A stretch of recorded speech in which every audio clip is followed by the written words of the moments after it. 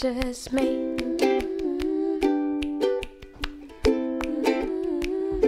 That's just me.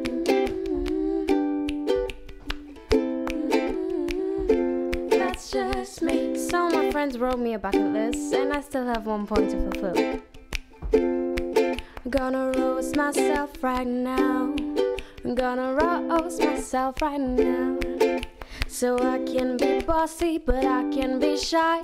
I'm always tired, and I don't know why. A veggie and a feminist, and definitely too tolerant. And I should probably work on my self confidence. But hey, at least I pay my bills only two days late. Should probably stop doing that.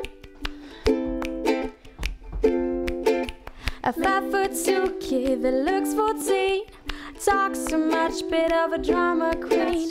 A lazy nut that wears too much skirts, but hey, that's just me. Oh, that's just me. That's just me.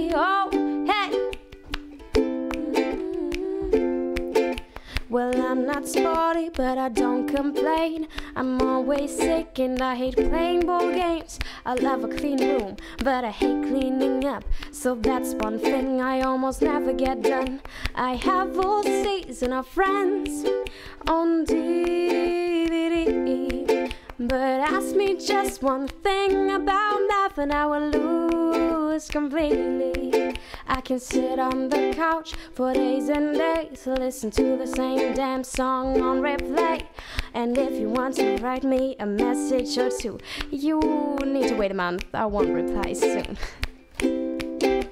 I'm not good at communicating.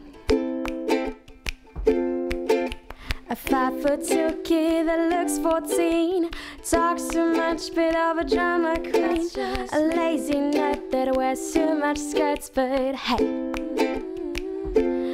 that's just me. Oh, oh, that is just me.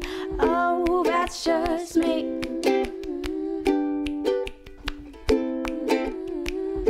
That's just me. Yay!